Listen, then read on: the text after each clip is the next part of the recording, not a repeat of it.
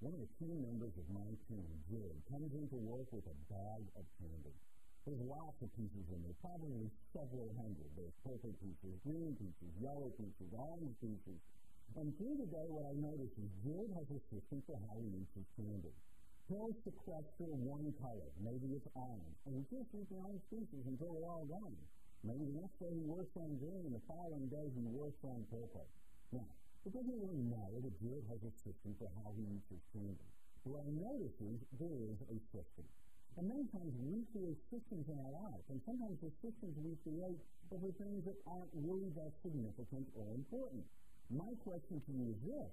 If we create systems for those types of items, will we create the systems that we need in our business to be successful? Do we look at the way that we engage our customers? Do we look at our sales process?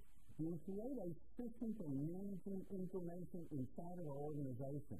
Because the organizations that create the most thorough and well thought out systems are the ones that want to provide the better service, provide the better experience for their clients, and best position themselves for growth.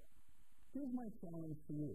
Look at your business. Look at the different areas of your business and charge those people who are in charge of those different areas of your business to come up with systems, to streamline the existing systems, to make sure that those systems are only aimed at delivering value. I don't want you to create systems for the purpose of having systems. I don't want you to clutter what you're doing.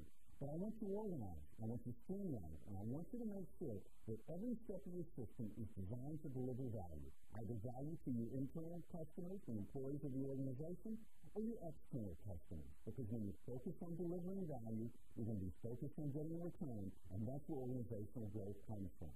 Create those key systems. Evaluate your key systems and make sure you're always on the leading edge, and you'll be accountable for growing your business.